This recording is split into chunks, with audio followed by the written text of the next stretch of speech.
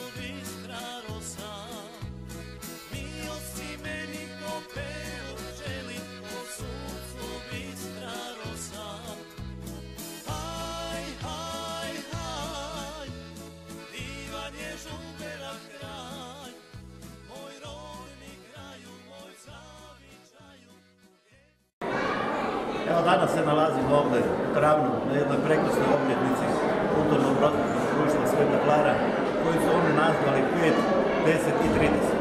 5 godina Mislava sa tamburašima, 10 godina Antona sa plesačima i tamburašima i 30 godina naravno cijeloga društva. Ovo društvo nije samo 30 godina, ovo društvo je davnih dana osnovano, davnih godina, međutim, zbog rata i raznih transformacija s koje su prolazili, evo sad slavimo Bonešu zadnjih 30 godina. Vidjeli ste i sami do ove pauze da su svi bili prekrasni, od male djece, od gostiju iz Kašća Sučevca, Kaštelanke, e, prekrasno. Ja kao izaslanik e, gradonačelnika grada Zagreba danas posebno mi je čast ovdje biti gradonačelnik me zamolio da sve skupa pozdravim i da mu je žao što ne može danas biti.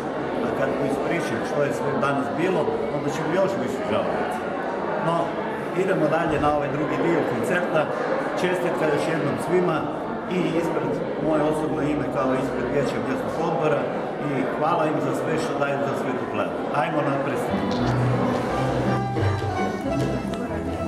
I može.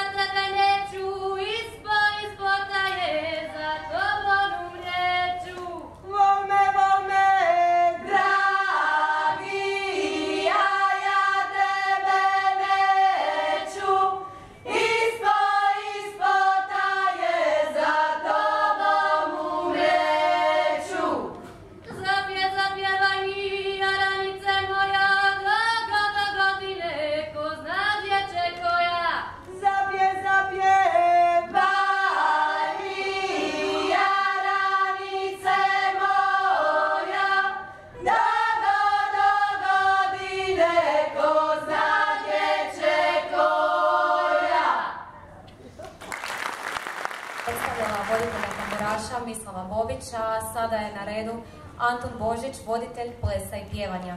Anton Božić rođen je 12.6.1987. u Antinu, malom slavenskom selu, sloven- selu između Vinkovaca, Vukovara i Osijeka. Sedam razreda redovne osnovne i osnovnu glazbenu školu smjer tambure završava u Velikoj Kopanici koju naziva svojim drugim domom jer je tamo proveo 10 godina u progonstvu i zapravo odrastao. Po povratku u Antin u Vinkovcima upisuje i kasnije završava opću gimnaziju i srednju glazbenu školu. Smjer solo pjevanje. Svoj folklorni put započinje u Velikoj Kopanici u kulturno-umjetničkom društvu Ivan Filipović, a nastavlja u Kudu Matanović u Antinu gdje već u osmom razredu osnovne škole postaje voditeljem pjevanja, plesa, sviračem orgulja i voditeljem crkvenog zbora. Ljubav prema folkloru duguje svojim bakama i djedovima, posebice pokojnoj Jeleni Božić, koja mu je po povratku u Antin počela govoriti i pjevati sve pjesme svjetovnog i duhovnog karaktera, koje je kao mlada i sama pjevala. Kupio je svoj prvi diktafon i sve što ona govorila i pjevala snimio je. Na taj način, bez da je znao, postao je etnograf. To je prepoznala i njegova, kako je često naziva, zagrebačka baka, etnomuzikologinja i stručna suradnica Hrvatskog radija Miroslava Hadži Huseinović Valašek, čije savjete je poslušao i 2006. upisuje studij etnologije i kultur- kulturne antropologije te turkologije na Filozofskom fakultetu Sveučilišta u Zagrebu. Nakon završene treće godine studija, Anton počinje putovati i predstavljati hrvatski folklor kao izvođač, svirač, tambore samice i pjevač na međunarodnim festivalima slavenskih naroda i kultura s Markom Virstom u dvorani Ujedinjenih naroda u New Yorku, UNESCO-a u Parizu, Vijeća Europe u Strasburu, hramu Vasilija Blaženog u Moskvi i mnogim drugim važnim mjestima. S Lidijom Bajuk je održao samostalne koncerte u Argentini, s Lidija Bajuk kvartetom u Beču, uz Hrvatskim gajdaškim orkestrom u Poljskoj, Češkoj, Austriji, Njemačkoj, Slovačkoj, Francuskoj, Mađarskoj, Sloveniji, Bugarskoj te susjednoj Srbiji, Bosni i Hercegovini. Za međunarodni festival nematerijalne kulturne baštine UNESCO u Južnoj Koreji osmislio je, uvježbao i realizirao s muškom vokalnom skupinom Sinovi Jatara kompletni program predstavljena Bečarca koji se nalazi na popisu zaš- zaštićenih nematerijalnih kulturnih dobara UNESCO. Zato prigra- zato prigodu e, osmislio je i radionice pjevanja večarca, te na taj način dao izniman doprinos predstavljanju hrvatske tradicijske kulture svijetu. Dugogodišnji je član komisija za ocjenjivanje narodnih nošnji na smotri folklora Đakovštine, a sudjelovao je i žirirao na priznatim smotrama folklora Županjsko sjelo, Vinkovačke jeseni i Đakovački vezovi. Nekoliko puta je bio predavač na seminaru folklora Panonske zone, a sa Stjepanom Večkovićem je održavao seminare sviranja na tradicijskim glazbalima. Nakon što je stekao bogato folklorno iskustvo, nastavlja studirati etnologiju i kulturnu antropologiju te fonetiku na matičnom fakultetu. U Zagrebu je dvije godine vodio pjevanje u Hrvatskom kulturnom društvu Braće Radića. Potom je bio voditelj ženskog vokalnog ansambla Zvizde. Osnovao je i vodio mušku vokalnu skupinu Sinovi Jatara, a pjevanje je vodio i u Kudu Sloga u Velikom Trgovišću. Sve te godine je bio i ovdje u Kulturnom prosvjetnom društvu Sveta Klara. Trenutno povremeno vodi pjevanje u Kudu Pušća. Voditelj je ženske vokalne skupine Kaštelanke, ali kako i sam kaže, on pripada ovdje u Svetu Klaru, u svoju folklornu obitelj. Antone, sretan ti deseti svetoklarski rođendan i za tebe se kao i za Mislava nadamo da ćemo zajedno slaviti i na dolazeće obljetnice.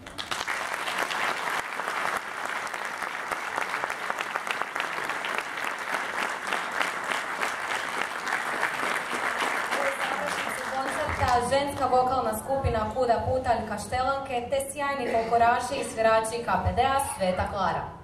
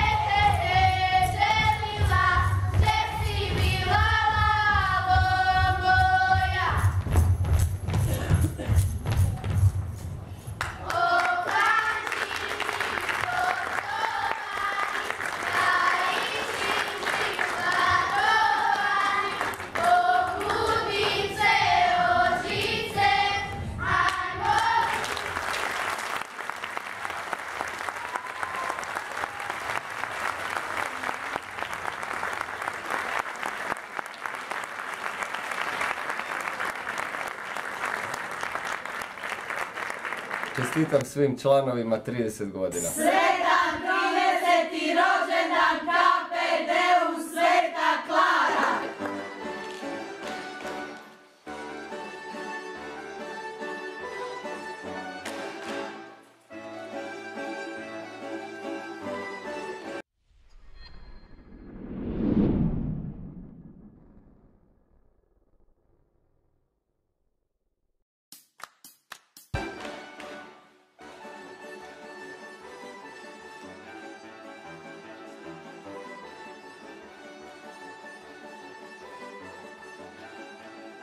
Srdačno vas pozdravljam, zahvaljujem svima koji ste se odazvali našem svečanom koncertu povodom 30 godina obilježavanja rada našeg društva.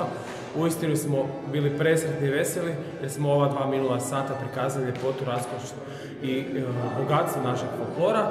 Svi vi, prijatelji našeg društva, hvala vam što ste svih ovih 30, nešto manje ili više godina uz nas, jer sami početki društva kreću još od 1931. A svi oni koji žele i hoće biti naši novi članovi, da pače, neka dođu utorkom i četvrtkom na naše dovite probe, svi ste dobrodošli, jer KPD Sveta Klara vas poziva se. Dobro. Svakako o, današnju sliku priliku našeg društva du- dugujemo našim dragim voditeljima Mislavu Bobiću koji proslavlja pet godina rada s našim tamoraškim sekcijama i Antuna Božića koji je proslavio 10 godina kontinuiranog rada i djelovanja s našim folklornim sekcijama i folklornim zborom. Svakako možemo zahvaliti našim prijašnjim voditeljima svih naših sekcija prije Antuna i prije Mislava, ali da pače i našem dragom počasnom predsjedniku gospodinu Ivanu Kunetiću koji je pune 22 godine bio na čelu našega društva i u tom razdoblju postigao iznimne rezultate. Vjerujemo i nadamo se, a zapravo smo sigurni da će i u minulim godinama i e, desetljećima koje dolaze nas biti samo dobri i pozitivni rezultati. I zato vam svima od jednog naših malih i velikih folkloraša želim e, reći veliko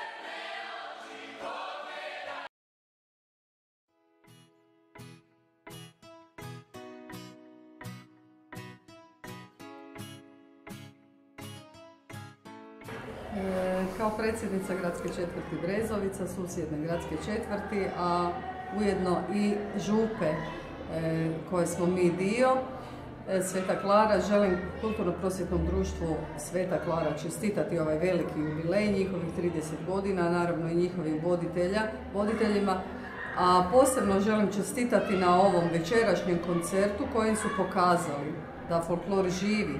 Pokazali su da djeca još uvijek dolaze na folklor, da su roditelji e, sa velikom ljubavlju ih sve doveli i pratili i pljeskali, bili u publici, e, da smo svi zajedno bili presretni i uživali u ovome. Znači, folklor je ipak in, kao što ovi mladi znaju reći da to više nije in, a mi smo večeras vidjeli da je itekako in i možemo samo sve pozvati da i dalje se pridruže, da plešu, a mi svi skupa u tome podržavamo i dajemo maksimum podrške koliko im možemo dati da i nadalje prikazujemo tu našu kulturnu folklornu baštu.